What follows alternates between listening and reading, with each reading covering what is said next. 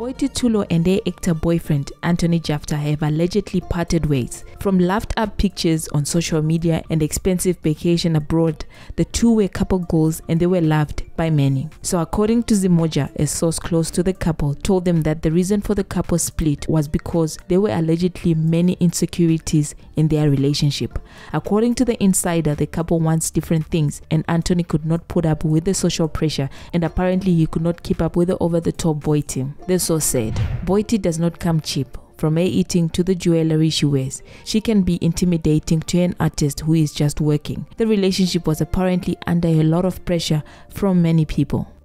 Many had high hopes that their relationship would last as she reportedly introduced Anton to her family. But things have taken a turn, and the pair who used to attend events together have been going separately. So, going back to a few months ago, Maphepha Ndaba reported that Anton was spotted with another lady that was not Boity.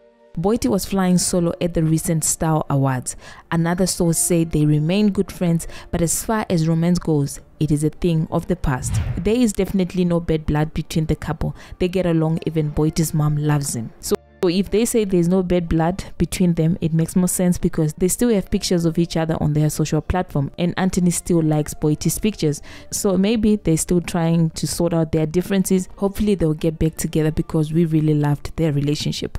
Boity caused a stir recently when she attended the Grammy Awards. So reported by Zimoja, according to the source close to the situation, she fly in with private jet with a powerful African who is in the oil industry. And as well, it takes us back to when she did this interview with Mihlali. A girlfriend allowance is supposed to make you feel like it's adding, like it's making you feel.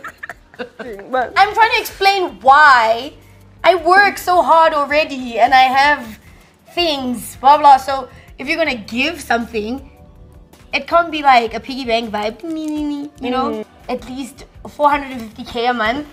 We would be like, I wouldn't bother you. I wouldn't bother you. Cut the cameras. Cut the cameras. Which man in South Africa is going to give you 450,000 rand? I'm saying a like, month. we're going to work on the... 450,000 rand a month. It's gonna, it's... I like, mean, I would love that child, but... So maybe this guy could not really keep up with Boity and things were really not working according to plan. But anyway guys, that's all that we have for now. Until the next time, please do not forget to comment, like, share and subscribe to our channel. Peace.